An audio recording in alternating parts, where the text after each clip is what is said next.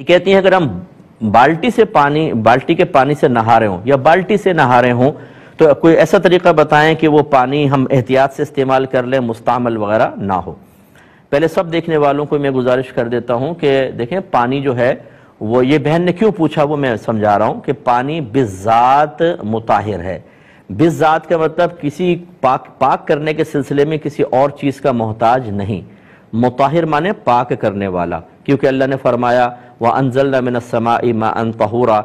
हमने आसमान से पाक करने वाले पानी को नाजिल फरमाया। इसका मतलब है, पानी के अंदर पाक करने का वस मौजूद है, आप नियत करें ना करें। जैसे आग में जलाने का वस मौजूद है मौजूद है, नियत करें ना करें, हाथ डालेंगे, जलेगा ज़रूर। अगर आप कहें, मैं हाथ डाल रहा हूँ, नियत यह है कि जलू नहीं, फिर भी जलेंगे आप। तो हम आपको बता रहे थे कि पानी में अल्लाह ने पाक करने वाला वस्फ रखा है। लिहाजा अगर बाल्टी में पानी है, आप जैसे उसमें हाथ डालते हैं, बगैर धुला हुआ, बेवजू हैं या हालत जनाबत में हाथ डालते हैं और यूँ निकालेंगे, ये पानी जो है वो आपके इतने हिस्से को पाक करेगा। पाक करने का मतलब ये है कि आपके हाथ पर एक नजासत थी जो उस पानी में मिल गई। ये पानी मुस्तामल कहलाता है। हालाँकि बेवजू शख्स के जिसम पर कोई ज़ाहरी नजासत नहीं होती, लेकिन शरीयत ने कहा है कि नजासत है।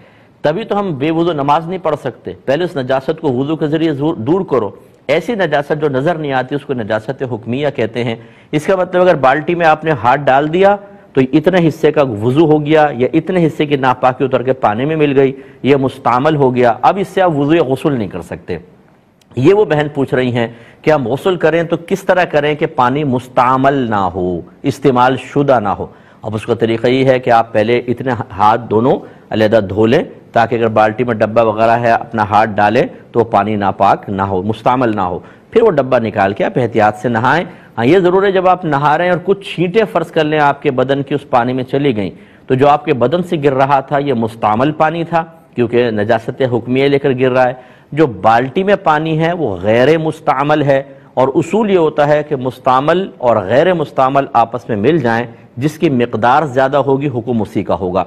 इसका मतलब है, नहाते वक्त चंद छींटे पानी में चली भी गई तो बाल्टी में गैर मुस्तामल की मकदार चूँकि ज़्यादा है, इसलिए वह सब का सब नहाने के काबिल ही रहेगा। आपकी एक आध छींट जाने से पानी नापाक, यानी मुस्तमल नहीं होगा।